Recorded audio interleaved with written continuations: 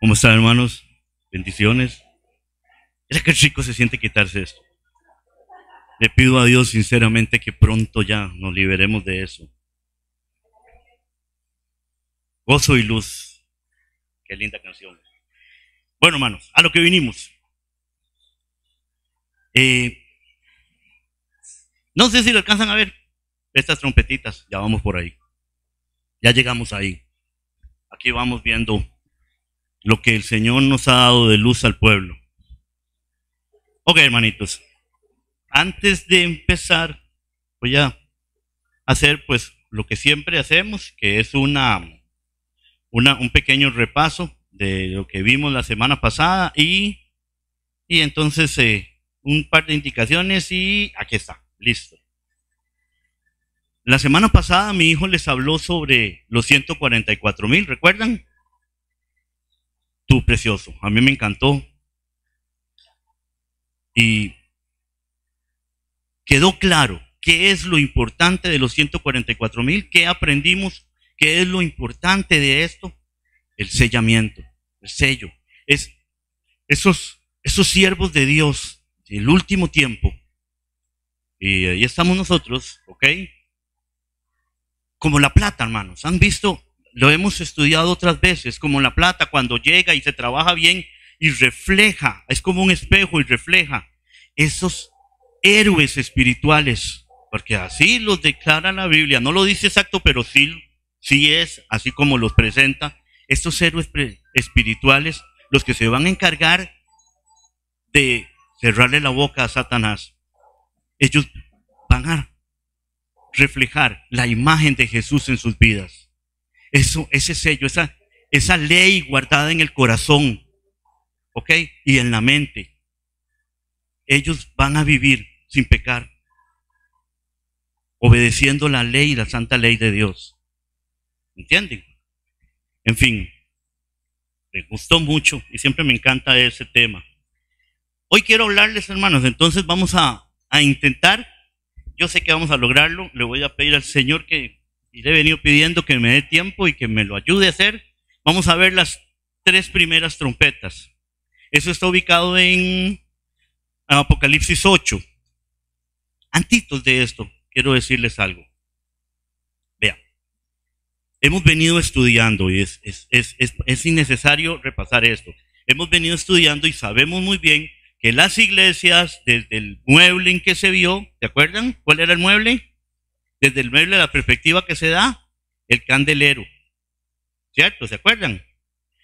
Luego vimos los sellos. ¿Desde qué muebles son los sellos? Desde la mesa, desde el, desde el pan, desde la mesa de pan de proposición, ¿cierto? La mesa del pan, desde ahí tenía que ver con la palabra. Ahora, hermanos, hoy vamos a empezar a ver las trompetas. Y las trompetas tienen su mueble. Desde esa perspectiva, desde este mueble, se habla de las trompetas. Es la, el altar de incienso. ¿De acuerdo? El altar de incienso es muy importante que lo tengamos bien presente siempre. Muchas personas dicen, y muchos adventistas, el altar de incienso son las oraciones respondidas por Dios, ahí están todas. Sí, es cierto, son las oraciones, ahí están, el Señor las responde, pero no son en sí las oraciones. El altar de incienso se trata de intercesión.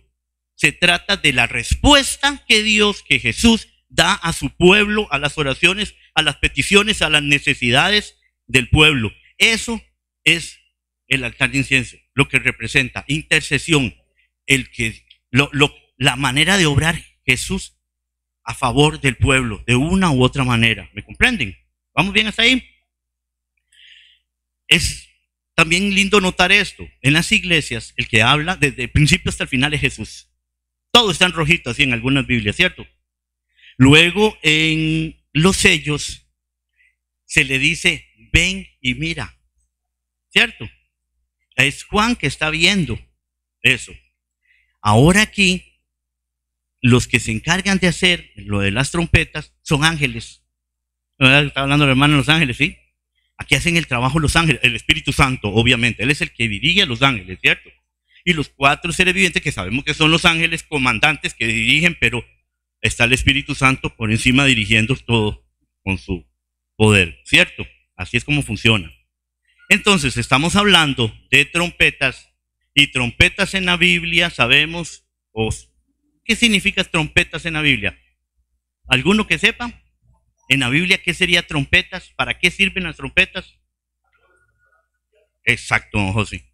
Son anuncios, es aviso. La trompeta se usaba para avisar sobre guerra, para avisar sobre ataque, para avisar sobre un evento religioso importante. La trompeta es un aviso, aviso de preparación, es como una alarma, pues aquí viene algo, va a ocurrir algo, ¿me comprenden? Y curiosamente, los ángeles, el ángel quiere decir mensajero, eso es ángel, mensajes, mensajero, eso es un ángel. Entonces, estamos hablando de un aviso con un mensaje o un mensaje de un aviso. ¿Ok? Son pequeñas cosas, pero es que es bonito saberlas. Ok, hermanitos, entremos en materia entonces. no hay cuatro, yo cuatro minutos. Ahí voy, para que no me roben minutos. ¿Algún valiente, hermanos, que me pueda leer Apocalipsis 8 del 6 al 7 para empezar con la primera trompeta? A ver, hermanita, éntele con ganas. Apocalipsis 8 del 6 al 7. Dice así. Y los siete ángeles que tenían las siete trompetas se dispusieron a tocarlas. El primer ángel tocó la trompeta y hubo granizo y fuego mezclados con sangre que fueron lanzados sobre la tierra. Y la tercera parte de los árboles se quemó y se quemó toda la hierba verde. Amén. Ok. Por ahí algunos estudiosos, sinceros de corazón, y estudian las trompetas y esto se derrumbó. Ahora sí, estas trompetas, esto va a ser un desastre que va a pasar. Y... No, hermanos, nosotros tenemos que aprender a estudiar la palabra y a ver, sí, es cierto que va a pasar cosas y señales fuertes y que faltan aún más fuertes, pero las trompetas aquí, recuerden que lo que nosotros tenemos que conocer de Apocalipsis es que Apocalipsis es simbólico, espiritualmente simbólico. ¿De acuerdo? Entonces, sí, hace un par de semanas atrás les estaba hablando y les hablaba del día oscuro y les hablaba de terremotos, ¿se acuerdan? Y les dije y todavía lo sostengo, y eso es lo que quiero entender, dejar claro. ¿Qué es en la Biblia terremoto? ¿Qué significa? Terremoto. Es así. Es literal. ¿Qué es eh, terremoto? ¿Qué es plagas? ¿Qué es granizo? es literal, ¿comprenden? Pero nosotros, a la hora de leer esto, y lo repito un momentito, y dice, y hubo granizo y fuego mezclados con sangre. Cuando nosotros escuchamos granizo y fuego, como nos hemos ido acostumbrando en todos estos estudios, nos vamos a la Biblia a ver qué quiere decir eso. Cualquiera de aquí que me quisiera decir qué le suena, a dónde nos lleva en la Biblia granizo y fuego. Salió Lot huyendo, los ángeles lo salvaron, lo sacaron. Sodoma y Gomorra, granizo y fuego, fue terrible, azufre, encendido, ¡guau! Pero aquí hay una connotación. Aquí el Señor nos está hablando de algo que nos dice, una, una mezcla dice granizo, fuego, mezclados con sangre. Miren, hermanos, Dios pues poderoso y puede caer del cielo granizotes de azufre y encendidos en fuego y, manchados de sangre y, sangrando. Puede pasar, pero no creo que eso. Hay algo muy importante. ¿Dónde empiezan las trompetas? ¿Dónde empezaban los sellos? ¿Dónde empezaban las iglesias? Lo hemos venido viendo. ¿De qué punto a qué punto? ¿De qué época a qué época es que nos está hablando el Apocalipsis?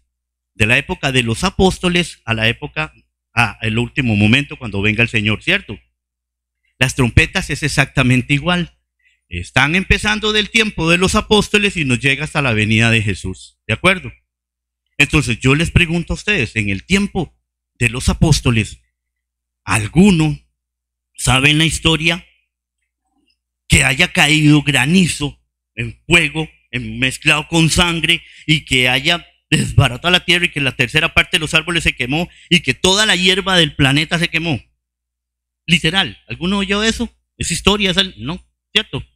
Esto es espiritual, esto es simbólico. Entonces, nos tenemos que entender y decir, ok, ¿qué es sangre en la Biblia? Sangre representa masacre, guerra, muerte eh, terrible, pero violenta. Eso es sangre, eso representa la sangre, ¿cierto? Todo esto cuando se junta, lo que nosotros tenemos que entender aquí es que esto es algo que Dios está mandando, un evento que da, que da, que, que, da, que da muerte, que da sangre, que da guerra y que está cayendo, y es muy importante esto también, dice, sobre la tierra. Ahí vamos viéndolo. espero que lo esté haciendo bien porque van entendiendo, sí. Entonces, la tierra, todos como adventistas siempre escuchamos, y es verdad, y lo sabemos, eh, que, representa, que es el mar. El mar representa naciones en conflicto, ¿cierto? Todos lo hemos oído. Y si no, pues se los digo, eso es lo que representa. La tierra, por el contrario, cuando la Biblia habla de tierra, ¿de qué habla? Habla de lo mismo, pero en paz, en tranquilidad. La tierra ya no es el mar en conflicto que es olas y mareas, no. La tierra está estable, está tranquila. ¿Se acuerdan en la profecía? Y luego lo vamos a ver. Y cuando, cuando nace Estados Unidos y sale de la tierra, dice, y, brota la nación tranquila, sin guerras y todo. Sí hay algunas ahí, cosas, pero esa intranquilidad, ¿me comprende? No nace como otras tierras que nacieron porque se levantaron y, y, atacaron a otro y el otro atacó al otro y ahí se iban haciendo. No, Estados Unidos se levantó, América se levantó, tranquilo, ¿me comprenden? Eso es lo que representa en la Biblia la tierra. Tierra es eso. Es ya un gobierno, aunque ya haya luchado y todo, pero que ya está establecido, ya está tranquilo en el tiempo de los apóstoles, yo les pregunto a ustedes, ¿quién era la nación fuerte? ¿Quién era el, poderoso, el reinado poderoso en el tiempo de los apóstoles? Roma. O sea, bien, qué bárbaro. Ahora lo una estrellita, están todas. es Roma. Roma era el que era el Estados Unidos de ese tiempo. Era el, que, el que era más fuerte, nadie se metía con ellos, estaban ya establecidos, a pesar de que sus conquistas y que no sé qué y todo. ¿Qué estaban haciendo los romanos? Atacaban a los cristianos, ¿cierto? Estaban persiguiendo a los cristianos, era un problema eso. La mesa, el, el, el altar de incienso es la intercesión, es la respuesta a las oraciones. El pueblo de Dios, los cristianos en ese tiempo, los apóstoles mismos, ¿Qué oraban? Mientras ellos estaban tratando de predicar y, estaban siendo perseguidos y sentían esa presión, nadie los quería, pero ni los judíos todo, ¿qué oraban ellos a Dios? Señor, cuídame el hato de, de cabras que dejé allá o que mi casita no se le caiga al techo. No, ellos estaban orando es, Señor, que no me agarren y no me maten, que me dejen de perseguir, que yo pueda servirte tranquilamente, ¿cierto? La manera en que Jesús ayuda y que Dios ayuda ahí al pueblo es precisamente esta. En ese tiempo comienzan los bárbaros a comenzar a, molestar y comienzan a hacerle guerra a Roma y comienza a trabajar y comienza a ponerse la cosa difícil para Roma. ¿Qué tiene que hacer Roma? Agarra todo su poderío, ya no lo usa, sus energías, sus armas ya no las usa en perseguirnos a nosotros, sino que después vaya a enfrentar a los enemigos que están atacándolo. Esos vienen con todo. Quita esa presión, quita ese ataque de esa manera es ayudado el pueblo. Dios intercede de esa manera para que el pueblo pueda, pero que se siga cumpliendo lo que se tenía que cumplir. Porque tiene que haber muertes, tiene que haber persecución, tiene que haber, pero Dios ayuda de esa manera y suaviza, ¿me comprenden? Esto, así de sencillo, es la primera trompeta. Lo único que me falta explicarles es la hierba. Ustedes estarán pensando, ¿y la hierba? La hierba representa en la Biblia abundancia. Abundancia. Eh, representa lo verde, representa, eh, eh, ¿cómo les dijera? posesiones, abundancia, tener posesión, ¿cierto? Ok, eso es lo que representa la hierba. Pero le dice que fue eliminada. ¿Por qué? porque comenzaron a atacar y en guerra se acaba lo que es la abundancia. En guerra comienza a verse la cosa fea, comienzan a, darle raciones a los soldados y, coma un día y pelee tres y en ese, en ese, ahí en eso, ¿cierto? Esas cosas se comenzaron a dar, comenzó a, a tener problemas Roma. Y entonces pasamos a la segunda trompeta. Vamos bien. Tengo que ponerle. Vean. En la segunda trompeta, y alguien que me lea el verso 8 y 9. Esta es la segunda trompeta. Don José. El segundo ángel tocó la trompeta y como una gran montaña ardiente, ardiendo en fuego fue precipitada en el mar y la tercera parte del mar se convirtió en sangre y murió la tercera parte de los seres vivientes que estaban en el mar y la tercera parte de las naves fueron destruidas. Amén. Ok, hermanos. Quiero que tengan en la mente esto. Acuérdense cuando estábamos hablando de los sellos, y estábamos hablando y salió el caballo blanco con poder a predicar, salió el caballo eh, rojo. ¿Y qué pasó con el caballo rojo? La cosa se puso fea y hubo mucha persecución y todo, ¿cierto? O sea, al principio estaba la persecución, pero luego el Satanás se enojó y comenzó a atacar con furia y a hacer todas las cosas, ¿me entiende? ahí van, ahí van, ¿de acuerdo? Entonces, vean esto, qué curioso. Dice, cayó una gran montaña ardiente en fuego fue precipitada al mar, ya no es sobre la tierra. ¿Por qué? Porque ya está en conflicto, ya es mar, ya es multitud en conflicto, ya hay guerra, ya hay problemas, ya hay bárbaros y siendo feo y todo el asunto. Y también, acuérdense que viene el tiempo de la persecución más feroz contra los hijos de Dios y contra los apóstoles, cuando son muertos los apóstoles incluso, y estamos hablando del caballo rojo. Estamos hablando en este momento de persecución. Estamos hablando de que en este mar, que es ya en conflicto, ¿cómo está? Dice que, que la tercera parte del mar se convirtió en sangre. Ya les explico lo de la montaña. Entonces, la tercera parte lo habíamos hablado la otra vez cuando les expliqué sobre cuando tiraban las cuerdas en las guerras y que era misericordia y se rescataban y le perdonaban la vida a esa parte. Esto es misericordia. Solo la tercera parte murió. Solo la tercera parte es muerta. Dios tiene misericordia. Toda esta matanza se da ahí. Eh, los habitantes del mar, dice, te haré pescador de hombres, ¿cierto? El signo del pez esto es lo que representan esos habitantes del mar. ¿Me comprenden? Esos habitantes. Eso es el hombre, los hombres. También ahí los representa. Ahí murieron parejo también por guerra malos, pero murieron demasiados también por, por persecución. Es en el tiempo de Diocleciano. ¿Se acuerdan cuando se los hablamos y se los explicamos que duró 10 años y que fue una masacre y una bolera de espada terrible, los quemaban, los tiraban a los leones, todo eso? ¿Qué hacen? ¿Qué hicieron los hijos de Dios en medio de toda esa, todo ese ataque? Se entregaron a Dios con más fuerza. El Espíritu Santo los hinchó de valor y comenzaron a predicar la palabra. ¿Qué fue lo que sucedió ahí? Dice que, dice, una gran montaña ardiendo en fuego fue precipitada al mar. ¿Qué era una montaña? ¿Un monte? ¿Qué representa un monte? Un monte, gobierno. Un gobierno, poder. ¿Ok? Se le viene a la mente, en la Biblia, una montaña ardiendo, una montaña encendida. ¿A qué se les viene en la mente? ¿Qué recuerdan ustedes de un monte en la Biblia muy famoso que hasta todavía hoy se le ve que tiene toda la cúpula así en rima negra, de donde quedó, del fuego de Dios donde estaba ahí? Ahí les entregaron las, tablas a, Moisés para el pueblo. ¿Se acuerdan de ese monte? Exacto, el monte Isaní, el de, de Sinaí.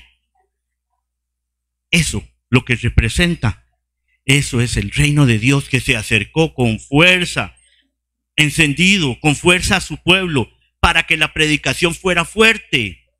¿Se acuerdan? Que era cuando más se predicaba cuando más fuertes estaban ellos, donde lo hemos leído, ¿se acuerdan? Porque lo hemos leído, ¿ah? no porque estuvimos ahí. Eso es lo que representa ahí esto. Es la respuesta de Dios que les dio, les hinchó de valor el Espíritu Santo, les, les dio, les, se les fue dado el valor y ellos predicaron con más ganas, aunque más los mataban, más predicaban y más fuerte se extendía la palabra de Dios, ¿cierto? Vamos a ver si se me quedó algo de esta. Y murió la tercera parte de los vivientes, ya eso se los dije. Y la tercera parte de las naves. Las naves representan siempre dos cosas. Poder, riqueza. Cuando le, cuando le traían a Salomón las, las, los, los árboles y los materiales y todo lo que lo traían en las naves. Guerra. Poder armame, arma, armamentístico sería. ¿Ok? Eh, ejército, ar, arman, ar, armamentísticamente hablando, si me entienden. Hoy ando enredado la lengua. Eso representan las naves. Y eso es lo que se le ha sido quitado. ¿Por qué Diocleciano persiguió la iglesia? ¿Qué era la, lo que él declaró? Se los había dicho, pero se los recuerdo. Dijo que el cristianismo estaba perjudicando el poder en, el, en, el, en Roma. No, no andaba tan largo. no andaba tan largo. Porque Dios intercede por su pueblo. ¿Me comprenden? Eso es, sí, estaba, digamos, molestando en ese aspecto. Luego, esto es la segunda trompeta. ¡Wow! Estamos bien. Y ahora vamos a entrar a la tercera trompeta donde cerramos todo este pequeño círculo. Y necesito que alguien me pueda leer los últimos dos versos que serían el 10 y el 11 de Apocalipsis 8. Apocalipsis 8, versos 10 y 11, hermana. 10 y 11. Dice así. El tercer ángel tocó la trompeta y una gran estrella ardiendo como una antorcha cayó del cielo sobre la tercera parte de los ríos y sobre las fuentes de las aguas. El nombre de la estrella es Ajenjo y la tercera parte de, la, de las aguas se convirtió en Ajenjo y mucha, y mucha gente murió por el agua que se había vuelto amarga. Wow. Qué, qué lindo, es que cómo, cómo, se, cómo se conjunta. Estamos en la tercera trompeta, ¿ok? Ahora, cuando ustedes leen, cuando ustedes leen que una estrella cayó del cielo, ¿a qué se les viene a la mente? ¿Qué estrellita se vino del cielo y que Jesús vio caer, por cierto? Eso. El mero pisuicas, el chamuco se cayó del cielo. Ahí está. Eso es, eso es. El se vino, dice, que una estrella, una gran estrella ardiendo como una antorcha, y cayó sobre la tercera parte de los ríos y sobre las fuentes de las aguas. El mar quiere decir multitudes en conflicto, ¿cierto? Pero los ríos, las fuentes de agua, yo soy la fuente de vida, dice el Señor. ¿Lo han oído? Ríos de agua viva, ¿lo han escuchado? ¿Qué sale del trono de Dios? Río. Es la palabra, es la salvación, es la palabra misma de Dios. Estamos hablando aquí de la palabra de Dios, estamos hablando aquí de doctrina, de sana palabra de Dios. ¿Y qué es lo que viene a hacer? Viene a envenenarla, viene a amargarla. Voy a hacer un poco, vea, ¿se acuerdan del, del tercer caballo? El negrito. ¿Qué es lo que trae en la palabra? ¿Qué era lo que venía a hacer? Venía a echar a perder la palabra, a cortarla, a añadirle, a desviarla, a tergiversarla, a tramarla, a esconderla del pueblo. ¿Se acuerdan? El oscurantismo, lo vimos, ¿cierto? ¿Qué está pasando aquí? ¿Me comprenden? Eso es lo que está, lo que estamos viendo aquí en la tercera trompeta. La palabra de Dios está recibiendo un ataque. Ok, ahí eso es lo que está pasando.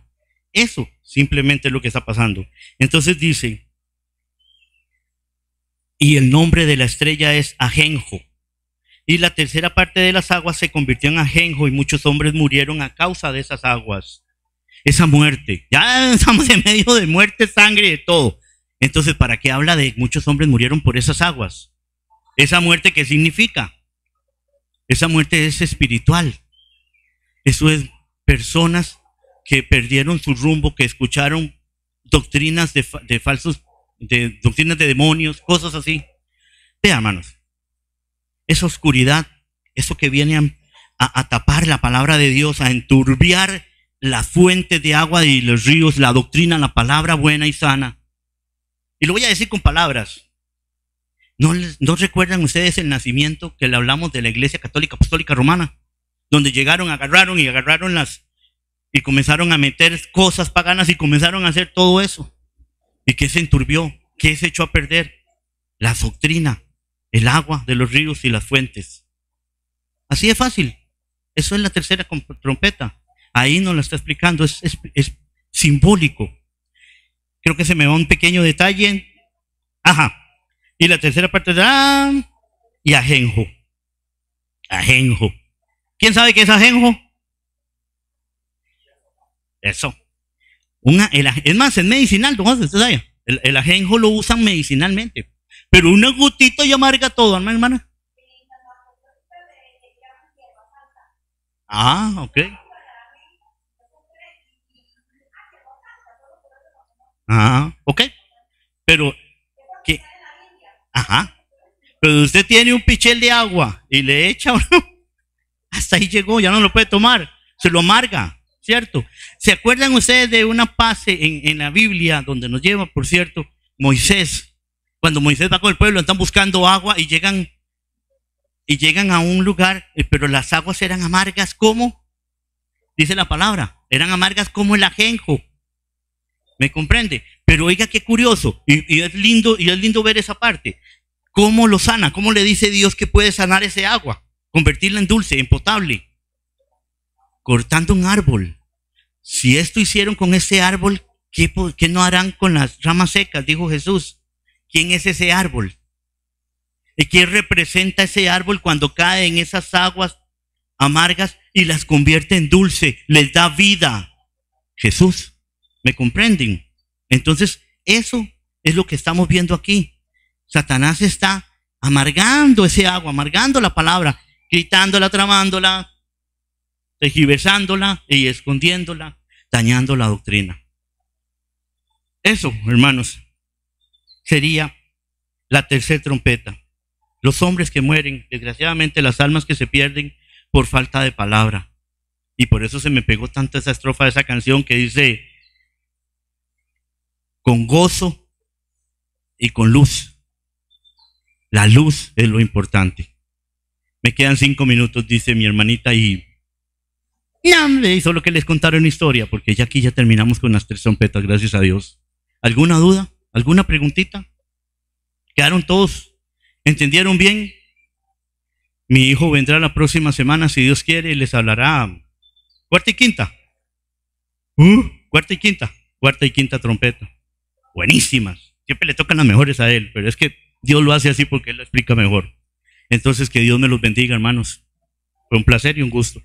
Me tendré que poner la mascarilla, la única parte fea. Bendiciones.